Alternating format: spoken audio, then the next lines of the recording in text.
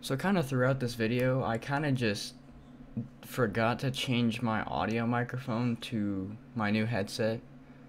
But basically what I said throughout this entire thing was kind of like, oh, I got this new headset. I won't be doing uh, videos for a little, or montages for a little bit.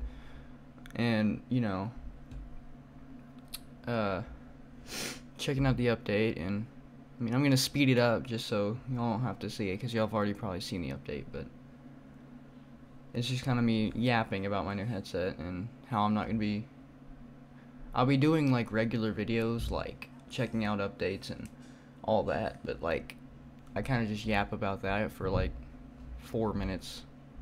So, I kind of sped it up a little bit so y'all don't have to kind of see what happened.